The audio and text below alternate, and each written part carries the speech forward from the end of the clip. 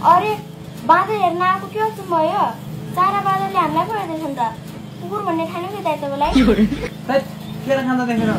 बाँदर हेर न बाँदर। यहाँ यस्तो बाँदर त कति हेर्थ्यौँ कति गाउँमा कुकुर लगाएर खेदाउँथ्यौँ हामीले। वाइ अर्का दाइलाई कुकुर भन्छौ तिम्रो दाइलाई भने होइन नानी। आउँछ भने आएन नि दाइ हेर्नु त। दाइलाई थाहा हुन्न कुकुर जस्तो को छ भनेर। कस्तो लग्छ रहेछ यार। जाम मार खाली गरौँ न त अयो को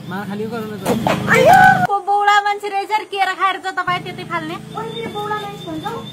अनि फेरि किन बोल्नु पर्यो? क्या को देखाएको मैले खाले अनि म नदेखेर बोल्छु त। अनि मेरो दाइलाई बौला मान्छे भन्ने। होइन अनि किन फाल्नु त फोर अनि बौला मान्छे भन्नुपर्छ त।